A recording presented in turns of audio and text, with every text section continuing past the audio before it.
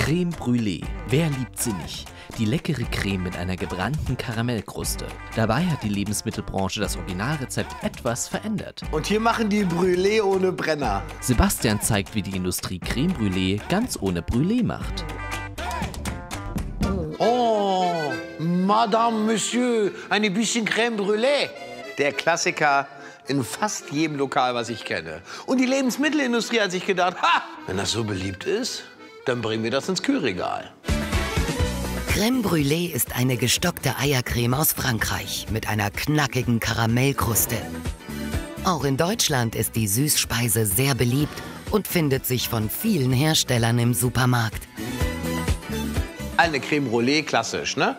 Eier, Zucker, Sahne, bisschen Milch, bisschen frische Vanille, schön stocken lassen, abflemmen. Da geht man mit den Löffel durch die Schicht durch, oben warm und dann dieser vanillige, cremige Geschmack, ein Traum. Sebastian Lege studiert die Zutatenlisten und packt aus. In luxuriöser Glasverpackung. Französisches Dessert mit 47% Sahne, 9,8% Eigelb, 5,8% Vollei und 2% Karamellzucker. Das ist ja hier wie selbst gemacht. Finde ich jetzt kein Fehler. Wirklich nicht. Edeka, Rewe, Netto und Lidl bieten ihre Brûlés als Eigenmarke an. In hochwertig wirkenden Verpackungen. Deluxe. Das Wort allein schon. Deluxe. Das ist wie Gourmet. Das ist auch so ein Wort. Da machen meine Ohren komplett zu. Dabei sind die Produkte günstig. Reves Brûlé kostet 1,29 Euro pro 100 Gramm. Alle anderen in der Stichprobe 85 Cent. Sebastian Lege sucht nach weiteren Unterschieden.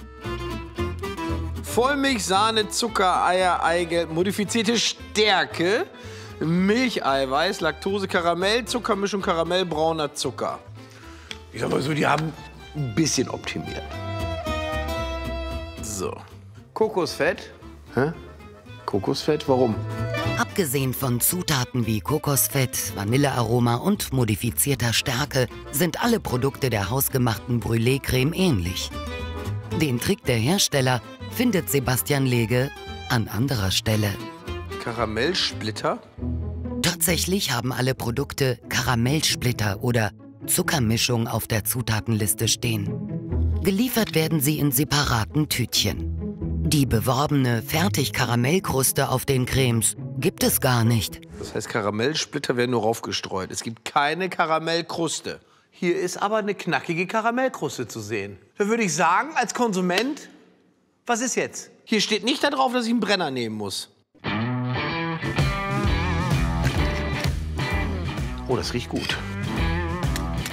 Die Karamell-Zuckerzubereitung, die wird ja hier nur raufgestreut. Und dann soll man warten. Nach und nach bildet sich eine zuckerbraune Schicht, die optisch aussieht wie echte Brûlée-Kruste. Und hier machen die Brûlée ohne Brenner. Das war pfiffig, oder? Aber das ist keine Creme Brûlée, Mensch! Die angebliche Kruste ist zu weich. Für den gelernten Koch gehört der Zucker abgebrannt. So wie es die klassische Zubereitung verlangt. Können die Cremes denn geschmacklich überzeugen? Oh, der ist lecker hier. Dann nehme ich noch einen Löffel. Da sagt besser Esser lege. Kein Fehler. Die Creme, lecker.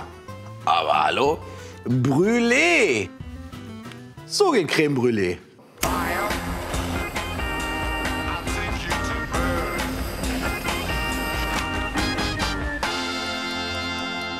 Hören Sie das?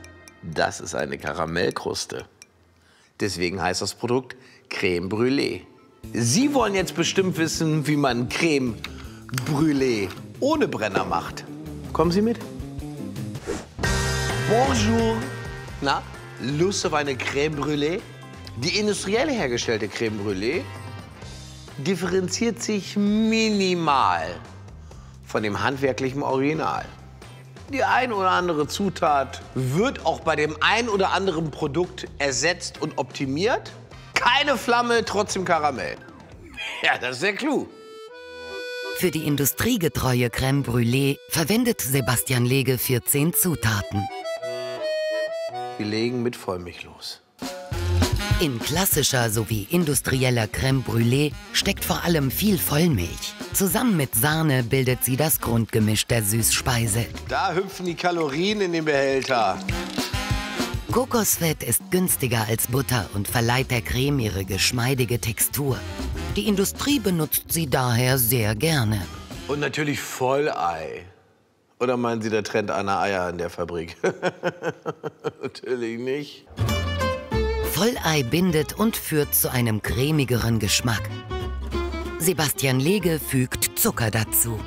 Und was wäre einer mit der beliebtesten Desserts ohne Vanille? Hier Vanillearoma. Eine Aroma reicht nicht, nehmen wir noch ein weiteres Aroma. Das muss auf der Zunge tanzen. Natürliches Vanillearoma besteht aus mindestens 95% Vanille.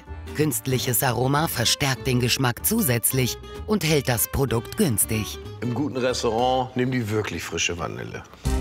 Modifizierte Stärke macht das Produkt stabiler und spielt bei der Industrie auch bei der Herstellung eine wichtige Rolle.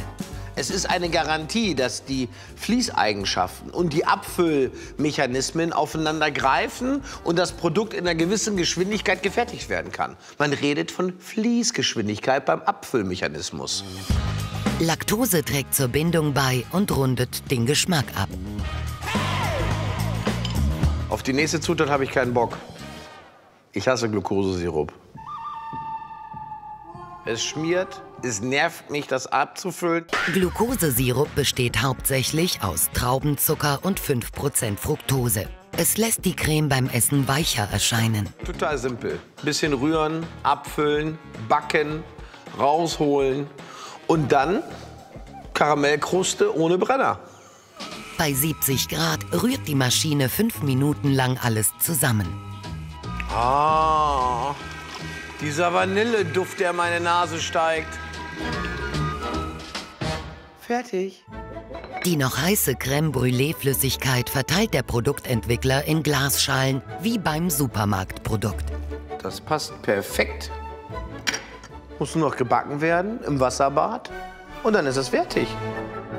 Dafür kommen die Cremeschalen in heißes Wasser und stocken im Ofen bei 130 Grad 30 Minuten. Und jetzt machen wir das Karamell. Die Karamellkruste. Für den Staub der Fake-Brûlée-Kruste kocht Sebastian Lege Wasser auf und gibt Zucker dazu. Jetzt ist es Zuckersirup, gleich Karamell. Nach und nach karamellisiert der Zucker. Es entsteht Karamellsirup. Ah, goldiges Karamell. Es ist so wunderschön goldig. Das fertige Flüssigkaramell muss jetzt abkühlen. Die flachen Formen garantieren, dass das Karamell schnell aushärtet und eine dünne Textur entsteht. Wichtig für die Puderherstellung. Und schmeckt? Oh. Oh nein, ist kaputt gegangen. Also, ja, lecker. Für den perfekten Brûlée-Staub zerkleinert der Produktentwickler das ausgehärtete Karamell. Es kommt mir jetzt ein bisschen vor wie Breaking Bad hier. Aus Rohrzucker und zerkleinertem Karamell wird ein hauchdünnes Pulver.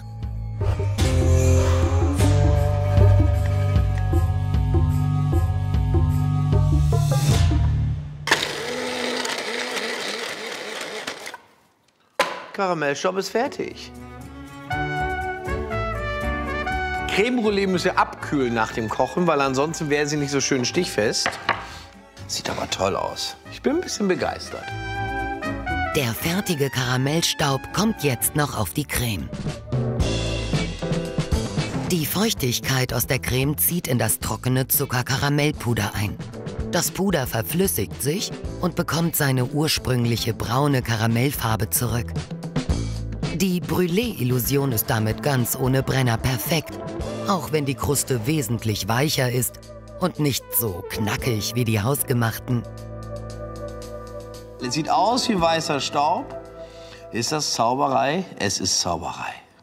Brülieren ohne Brennen.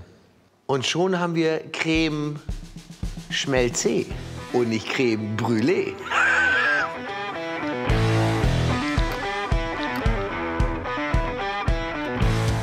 Die Creme schmeckt original, die Kruste leider nicht. Creme Brûlée ist wirklich ein schönes Dessert. Aber dann doch bitte mit der richtigen Kruste obendrauf. Ich finde, Brûlée muss gebrannt sein, sonst darf es nicht so heißen. Fertig Creme Brûlée.